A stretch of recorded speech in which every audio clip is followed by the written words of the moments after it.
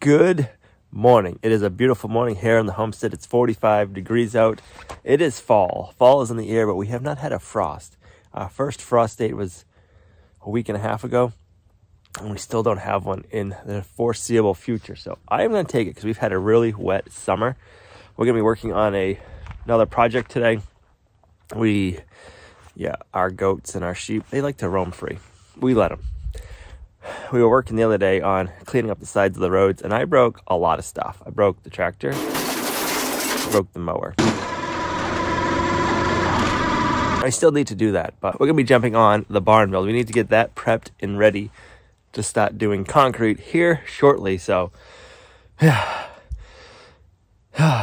mowing the other day, um, it was one thing after another. So, unfortunately, that project didn't get finished we still have to finish that, just not today. So we're going to be working on the workshop. I'm sure you guys know how it goes sometimes when you're doing a project and it doesn't go as planned. Yeah, that was my day the other day. But I'm loving this nice fall weather. We usually don't get this kind of weather this late in the season for us. I'm sure a lot of you southerners, this is your kind of weather and it is amazing. So I'll have to show you the shop floor. We just finished epoxying that. That is nice and dry now, so let's go check it out. Our new batch of coffee is going to be available October 3rd at 1 p.m. Eastern Time for everybody to get on the website and get some. So when you go on the website, if you go before that time. It will show sold out. We restocked the website at 1 p.m. Eastern time, so everything's gonna say sold out until that time. And then we'll hit the refresh button and everything will call it will be live and you can order the coffee. We're gonna have our modern homestead cold brew. I don't know if everybody else likes cold brew like we do all year round. We got the campfire decaf. It's fall time, it's starting to get cool out, so to have a nice warm cup of coffee at night is always nice. And then we have our homestead sunrise blend. We are still working on our dock roast. That'll be coming soon, but we're being fussy on that one. We're trying to make sure we have the right beans, the right roast. We want it to be delicious to share with you guys. We don't just want any old coffee, we want the best. And we're getting there. So getting there, we're so close. Can't wait to share that one with you guys, but the three coffees that we have right now are delicious. Let us know in the comments below if you like cold brew all year long, if it's a seasonal thing for you. I like my cold brew all the time. We're excited to get more of this coffee out to you guys. So today, October 3rd at 1 p.m. Eastern time is when we're gonna go live. We're changing up and we keep switching the times when we letting the coffee out on the website. So we're gonna try 1 p.m. this time so different people can get on there and get it ordered. I don't know how fast it's going to be before it sells out, but at some point it will get sold out. So if you want some, get on the website at 1 p.m. Now, let's get on with the project. The shop floor is all epoxied and it looks good. How do you like the gray? Because I, I, know like you're not a gray person. I don't, I don't love gray. I love it. Yeah. It's one of those projects that is kind of a pain to do, but I'm so glad we have it done having the garage floor or any concrete floor, epoxied I should say, just makes it so much easier for cleanup, for sweeping. Concrete is always dusty if you don't have it epoxied. We, have, we just added epoxy in at this homestead. The other places we never did, and I'm so glad we are. Makes cleanup better, and especially if you're gonna be doing any kind of harvesting of animals. If we're doing it in here, you know, blood gets anywhere, you can kind of hose it out. You don't gotta worry about staining anything, and you can clean up really easy. We did in this part of the shop. A clear epoxy because the gray epoxy that we got for out there said we should only need three boxes to do just the front half and have some left over to do this back half. Well, we used four boxes just to do the front. So that was kind of, it's kind of off their calculations of how much you need. So we had leftover clear from the house. All right, so we've kind of been jumping back and forth on projects we started working on our gravel pad for the barn we're gonna be building because we could get gravel and it was raining that day, so everything was pretty wet. So we got everything pretty well smoothed off, but we weren't able to compact it down. Then we had other projects we were trying to finish up inside the workshop, so we had to jump back on that. Now that it's dry, we can get back out here on the pad and start getting this leveled off better. We'll check the grade and then we can pack it down and then we can start figuring out the forms. I don't know how far we're gonna get today, but it is a nice day to be doing outside work like this. We're jumping back and forth a lot on projects right now too because the time of the year it is, winter is here. So we're trying to finish up different projects so we can have inside stuff for the winter. So we're trying to get ahead of all of that. And we gotta play around with the weather also. So let's see, I gotta level this off.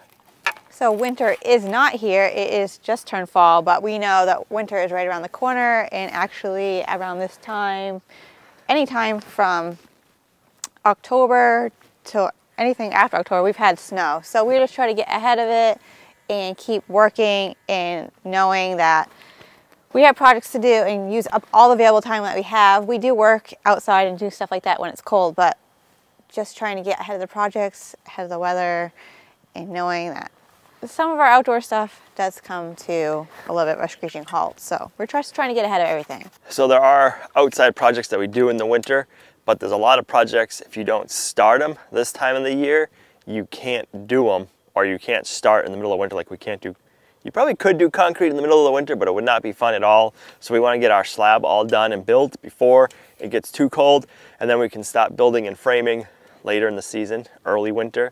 But we want to have all of the prep work and the concrete in. So we're trying to get ahead of all those things. We've got a bunch of stuff inside the workshop we still need to do. We got to do solar, but we're just trying to bounce back and forth and take advantage of the weather. So that's that height. Let's check it over here.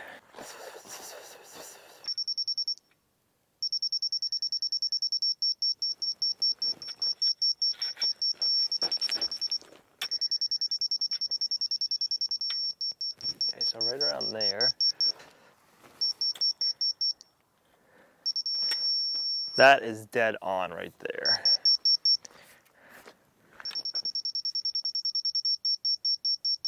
That's right on. Right there.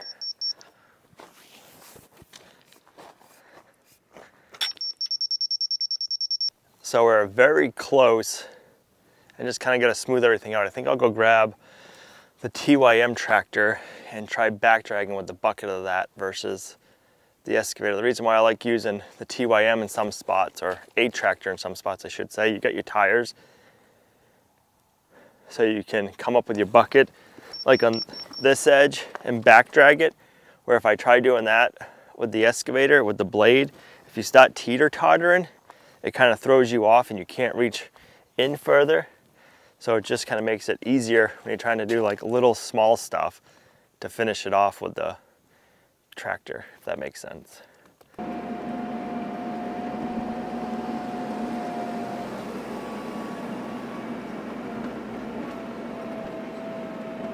I'm really happy about two weeks ago we put grass seed with Redmond's Grow on it down, which is like an organic fertilizer and it feeds the soil. In the areas that didn't get completely washed out by water, it's growing really good all up on our banks above the bank it's growing out good. And then some areas on the bank where it didn't get washed out terrible over on this bank where it's not so long and steep it's coming in really nicely.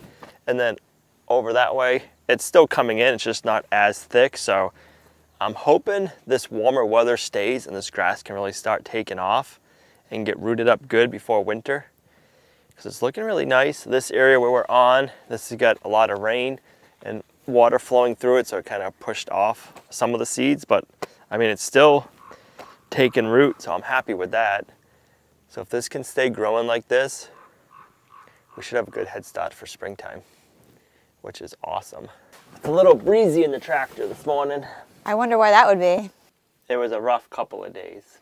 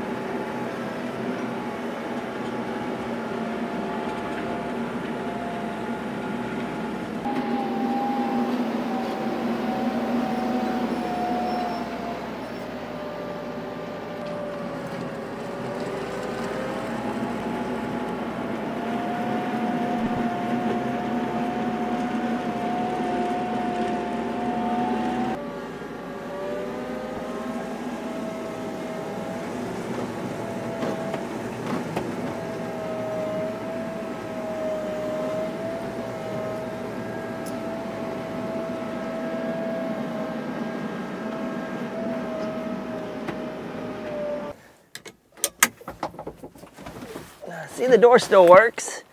Well, I think we'll stop there, give that a check.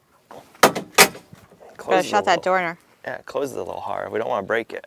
So we'll, all you can do is laugh.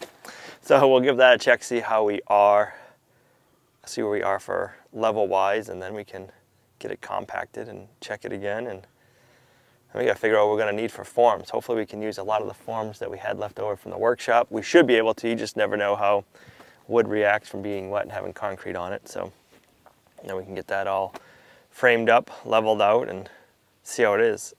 It's, the nice part about doing it this time of the year, it's a lot cooler. When we did the workshop, concrete and forming, it was in the middle of summer and hot and sweaty, so I'm gonna appreciate this. All right, it looks pretty good looking at it, but you never know. That is right on the money, like right there is level. That's awesome. That's perfect. Maybe a little low right there, where you're Here standing. might be a little low. Oh, like an inch maybe. Yeah. And then same thing there. So we can always, if the majority of it's an inch low, that can be great and we just level the forms off. Like we don't have to be this height. Like this isn't a, like a set height. I just went off of, this is roughly, it's actually might even be higher than the workshop height before the cement pad. So I just picked a level that was close to what that area is for a height before the cement pad, and then we'll have six to eight inches of concrete on top of this. So it'll be at the same height as that. I wanna make sure the buildings are close to the same height, so water flowing wise, it's all coming and going that way. So we're right there.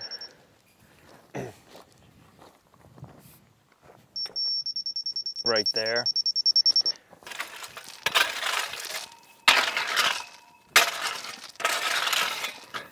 These big rocks make a really good base, but they don't rake easy. all right, let's get the compactor out here, compact this all, and we'll check it over again. So a while back, Al had bought an a compactor from Harbor Freight, and I thought, do you really, in my head, I don't know if I said out loud, but in my head, I thought, do you really need to have that? He has used that thing so much, definitely got its use out of it. It's definitely got, you can tell it's been used a lot. He has used it like for everything. So We've loaned it out, let other people use it, so I think it cost 350 bucks. It was one of those things, even when I bought it, I was like, mm, do I really need it? This is when we were doing the harvest house, and we did it for that. All the driveway, we packed down. you've done other parts of the, the road, you've done all the different foundation areas, just so many things. Yep. It's been used and used and used. And sometimes I'm not sure if it's going to start still, but he's going to use it until it doesn't work anymore. But he has definitely got, we have definitely got our money's worth out of it. For when he always tells me he needs some certain tool, I always think, do you really need that? So this was one he definitely uses. And the others too, usually. All right, I gotta make sure to turn it on because I do that a lot. I try starting it without the on switch. So let's see. All right, gas is on, switch is on. Let's put it on start.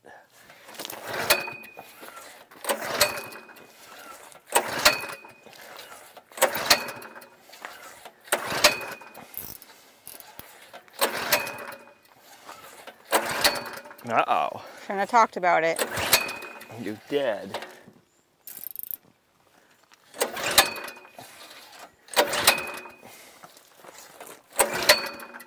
Off on. Ooh.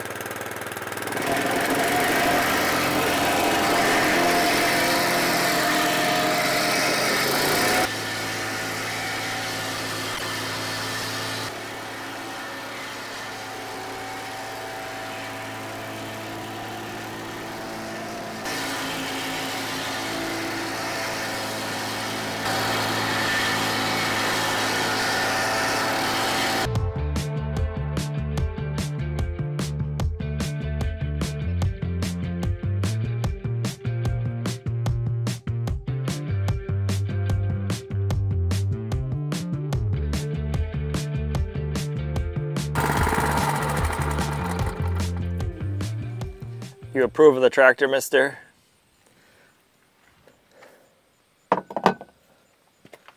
I mean, I guess it is kind of beneficial not having a door. Makes it easier to put my drink in.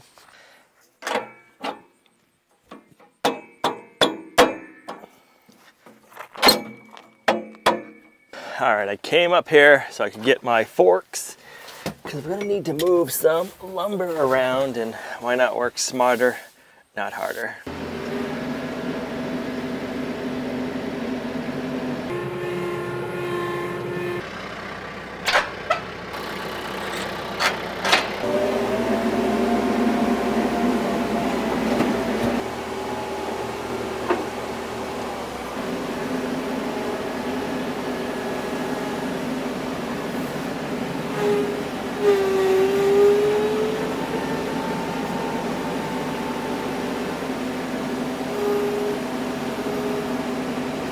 All right. as much as I want to get these forms built, we need to run out to the feed store and get feed for the pigs, number one.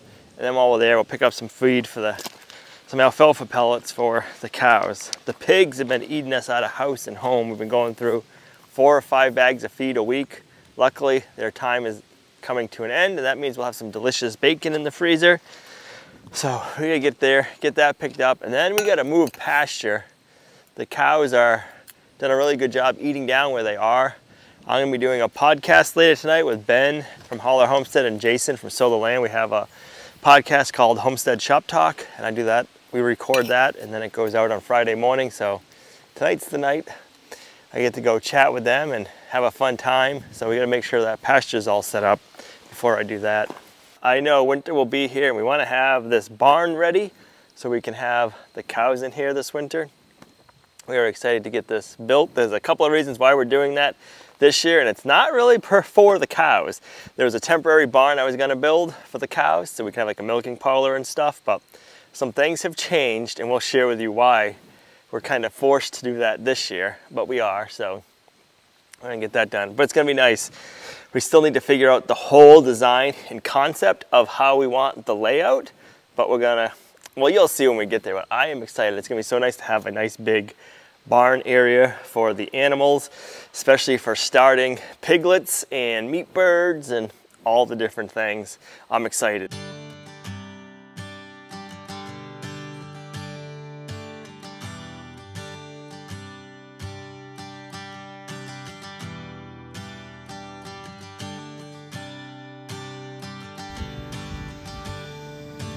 That's tomorrow morning's food, not today. All right, so we got all of the hay and grain last night. We got the pasture moved. I didn't record any. We got the cows out there this morning. They are loving that new pasture move that we did last night for them. This is all compacted nice. I got a phone call last night that they can bring in more gravel. We need some more gravel for over there by in front of the excavator so that way when we're going to pour concrete, if it's a wet day, the concrete trucks can get over there without sinking. And then we've been having a wet spot over here that we want to fill in. When we get a little bit of rain, it's not a problem, but we got like an inch and a half of rain one night and it flooded out. We were able to drain it, but we want to get that all filled. So they're gonna be coming with gravel today. You could put a pond right here. We could put a pond right there, but I don't think we want a pond right by our barn. We could do like a manure lagoon like everybody else does. Oh. Hmm. No. I actually think I hear the dump truck. They were supposed to be here in about an hour and a half. So they're early, which is a good thing. That means I need to jump in the TYM, get that out of the way, we can get the first load backed in.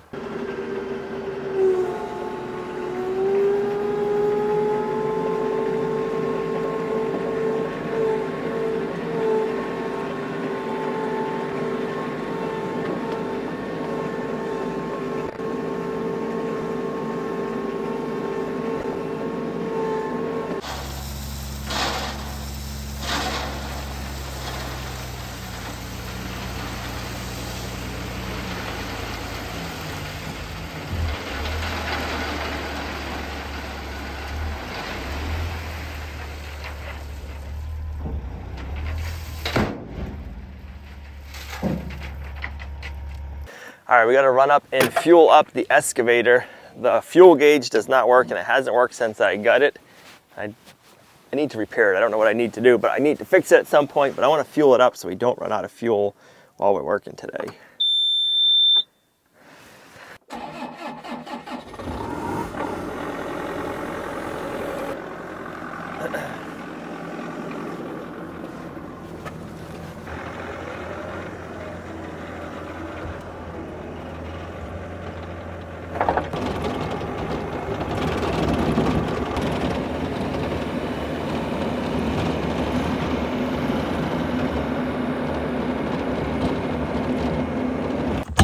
we have a nice handy dandy fuel tank. The only thing is, it'd be nice to set it up with its own little battery pack because we have to get power from the vehicle we are fueling up, which is fine, but if you can't reach the battery and the fuel tank, it's kind of a pain. So I think let's do that.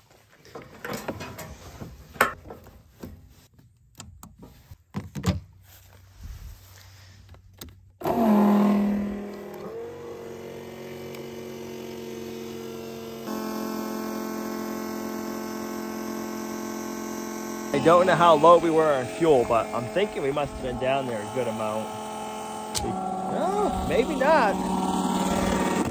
That didn't run very long. This pump's fast, but I don't think it took more than five or 10 gallons.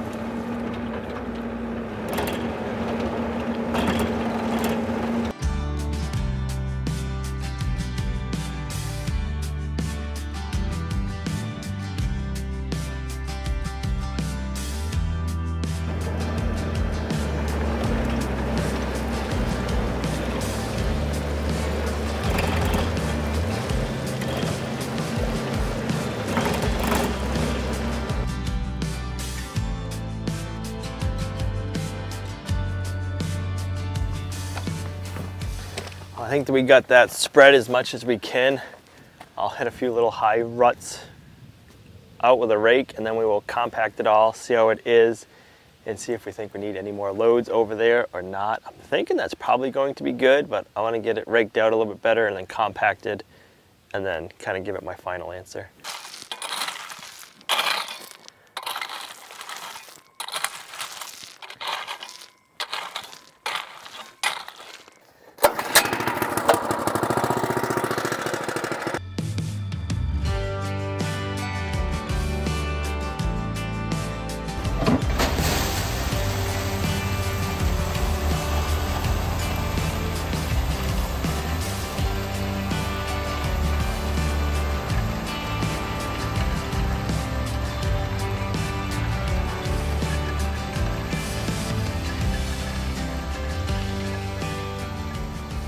Right, so I just got another load dropped off over here.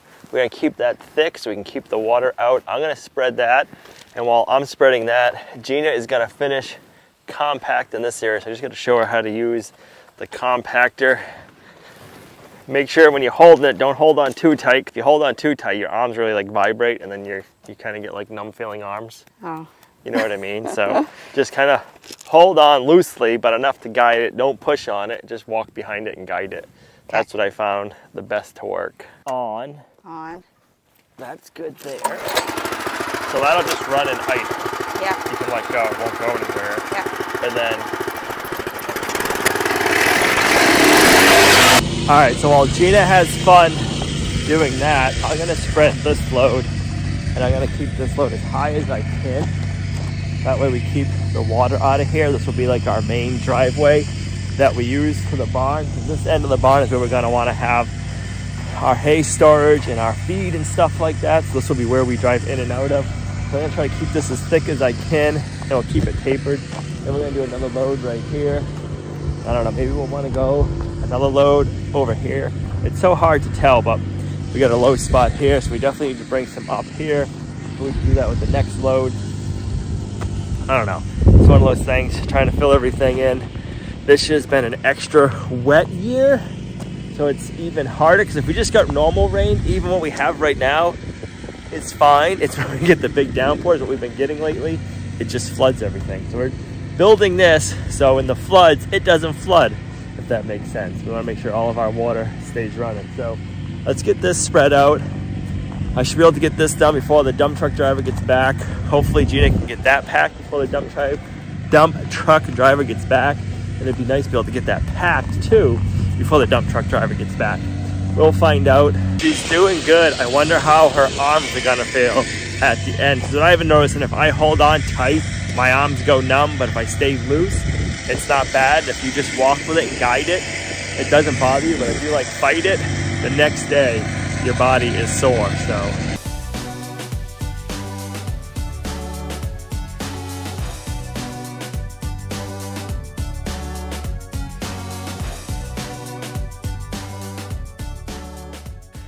how do your arms feel? I think they're all right, but I don't know if I can cook supper tonight. A little jello-y? I definitely wouldn't recommend it with like loose rings or anything because you probably Right. won't. They'll probably get lost. Yeah.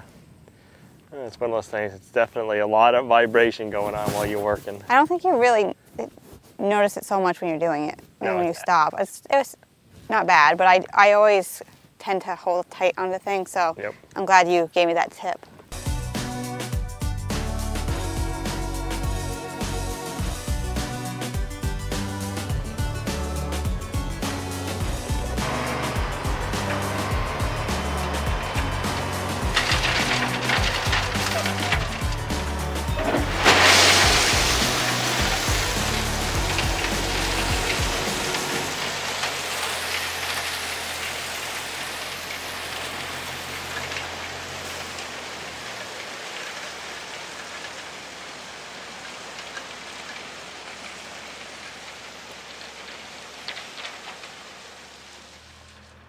All right, we got one more load. We should be able to spread that and take care of this low spot in the area. And then we're gonna have hopefully two more loads dropped off today.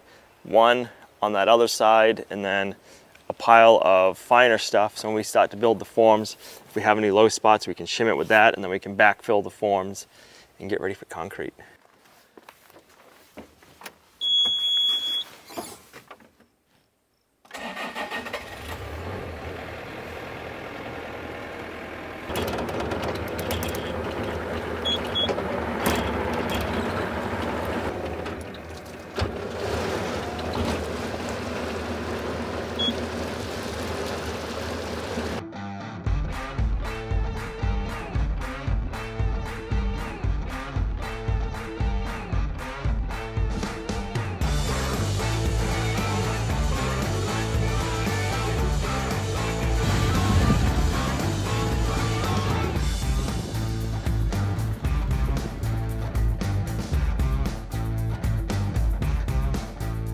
All right, we got one more load to spread over here.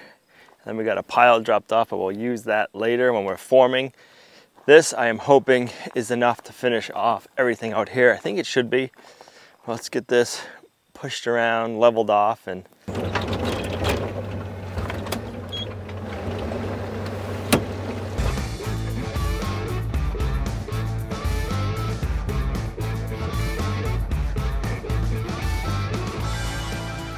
All right, that's looking good. I'm gonna get the compactor going and see how much we can get compacted. It's gonna be nice to see what this looks like once it rains. It's gonna be a while before it rains and I am happy about that. So I'll get this all compacted down and see how it looks, but I think we're in good shape.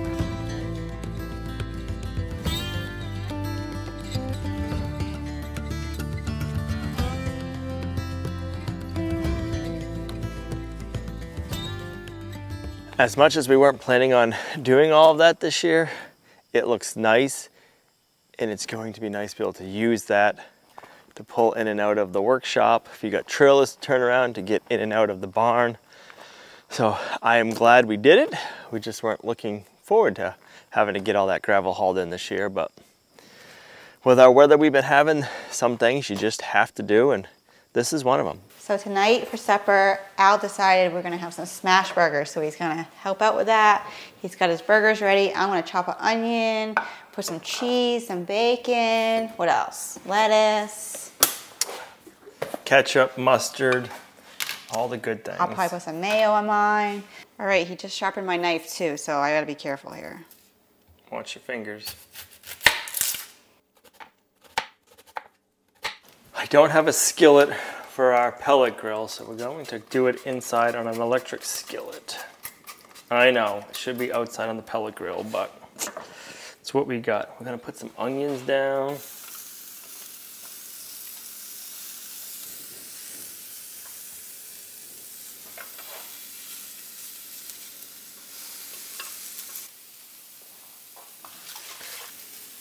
All right, I'm gonna season my balls first. A little bit of garlic powder. A little bit of salt. A little bit of pepper. And the seasoned side is gonna go down.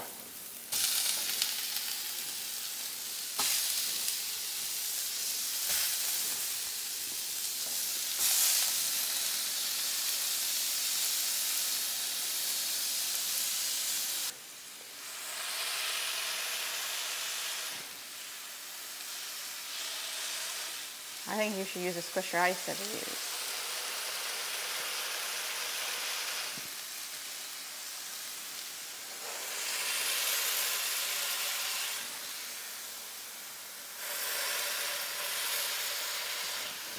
That hot? Little warm.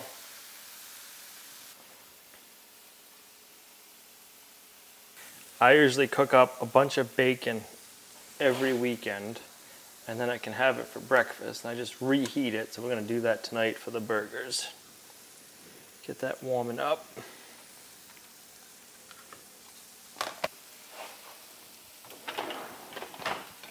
I don't know if your mouth is watering, but mine is. I am very excited to eat this. It's not even done yet. And then you can put cheese on top. Yep.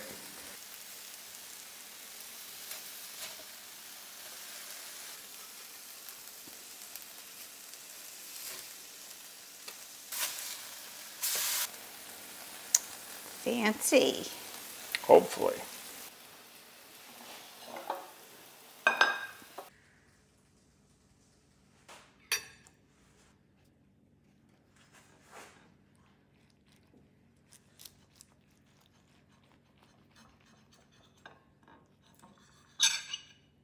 Dear Lord, I thank you for a wonderful day.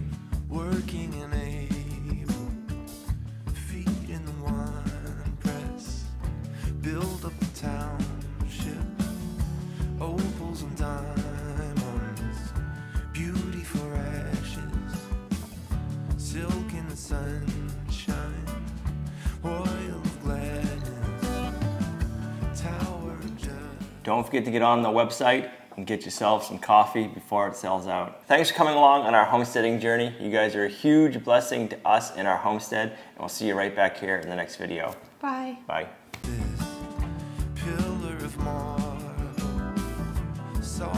Sunset, wings of an